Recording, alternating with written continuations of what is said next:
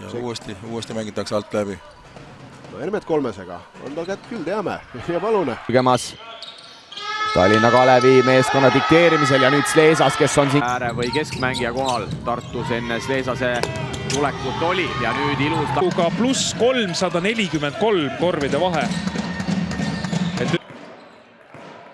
Slesas leiab Kasakauskase korvi alt, aga seal on nii pikad mehed vastas, et ei hakkagi mees üritama. Ja selja tagant sööduga. välja tuleb Slesas ja Säkk siis äh, tema peal, Hermet võtab eemalt kohe vistu, juba palliga üle tulemas, Slesas seni mängu alguses üsna nähtavatu olnud, aga praegu teiselt peal Velitškal eriti ja noh, no mis siin salata, ega siin ei pea olema tegelikult mingisugune, Velitška tuleb erilist tähelepanu pöörata sellele meeskonnale, eks. Nii et kui ei ole mängitud veel pooltki esimesest veerandajast, siis Kalevil on juba viisteist punkti, ta ja Durham omavahel söödavad, aga meie õnneks nüüd VEF-i kolmesed siin mängu alguses tabanud ei ole ja Tartu saab jooksma ja Robin Kitška, Slesas. Ja taas äh, Leedu saada ka selgelt hetkel korvist äh, leedukas kaugel on, tagasi Velitškale, Velitška võtab kohe kõhklemata kolmese ja see ei lähe. Eh, tagamängijatele ja, ja tal on niisugune hea nina esimene sööt näiteks või nagu praegugi näe, ta tuleb kohe kiirelt ühe-kahe põrgatusega, põmm. ja sealt täna pannakse, on sööt kirjas. tada ja vaatame siis, kaua ameeriklane seal kestab ja ilus tagaukse lõpp. kolmene läheb mööda ja Slesas kontrollib laua ära ja hea sööt Hermetile kiirrünnakusse, võtab sealt kohe ja, ja see on tema, et ta ei olegi oma punktide peal väljas ja ta ei ole, aga kogu aeg otsib, näe jälle ilus. väga hea sööt, super. jätab viskamata, liigutatakse pall alla Kasakauskasele ja oli seitse sekundit jääb rünnakut mängida, lahendust on vaja. ja nüüd hea sööt taas, sealt tuleb Slesas.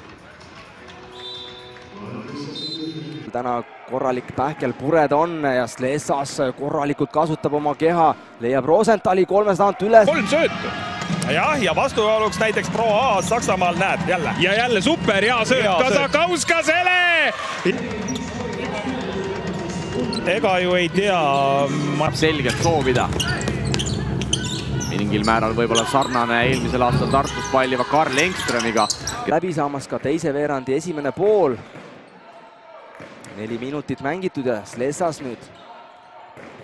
Kuntis Polintsi vastu ja Tartu mängijad nüüd neid VEF-i tagumisi ja Slesas paneb Mistersile käe peale ja kas saab jooksma ja taas on Leedu mees. nii et punkte siit kodumeeskonnale ei tule hetkel, Slesas ja high-low mängitakse siit. Slesas ja nüüd annab Velitškale sellise kopu kätte. kuidas nad on treeninud, mis nende üldse sihuke time-out'i täna üldse mulle tundub, nii et äh, kõik time-out'id, mis olnud on, on kas, äh, kas le-. aga nüüd Raadik siis toonud kõik TalTechi kuus punkti, teise tuleb Durham ja Durham näitab nüüd kiirust, aga vasaku käega lõpuks ikkagi vise mööda ja suurepärane sööt taas Leesas. Kalev Cramo vastu, siis sa, siis on sul sealt õppida, noh, sul on sealt igasugustest ebaõnnestumistest samamoodi. näed, näed, ei ole kolme punkti vise võib-olla päris tema element, aga, aga Kasakauskas on olnud nii, nii enesekindel sel hooajal, et, et ei imesta üldse, kui Kasakauskas ka neid kolm. Hermetile korvi alla sööta ei lasta lihtsalt. Slesas otsib söötu välja, nii on Velitška kolmesega, kas nüüd? no nüüd on. Slesas eemalt korvi ei vaata. Jürgenstein, Jürgenstein kolmene. Kivi mängib ennast nüüd nurka kinni, Slesas ja taas seinasööduga nüüd, kui ja, ja praegu kogu seda hooaega.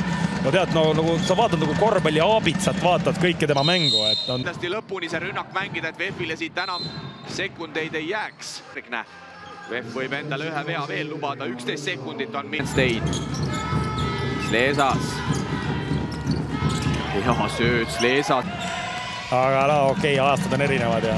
ja Brauten pani hetkel mööda, Kasakaus et noh, noh, see on ainus, mis sa siit enam kätte saad, seda mängu ju enam ei võida, eks ole, on ju selge, et noh, et ja nüüd üritab sealt leida Antet, aga Robin Kivi saab sealt käe vahele ja Kasakauskas on kiirrünnakus ja ei keegi. neljas resultatiivne sööt äh, Leedu keskmängijale. nii et kui TalTechi vastu laupäeval andis seitse söötu. kohe nagu üle huulte lipsas kohe, et oi. Aga Mart Märt saab vastu panna kohe. saab vastu. jah, kõik need audi välja viskad on tema ära real- realiseerinud, no Roos viska ka veel. Märdil just see ikkagi see aktiivsus ja, ja see tahtmine, see peab olema. no ei, Slesas jälle riputas sealt jalga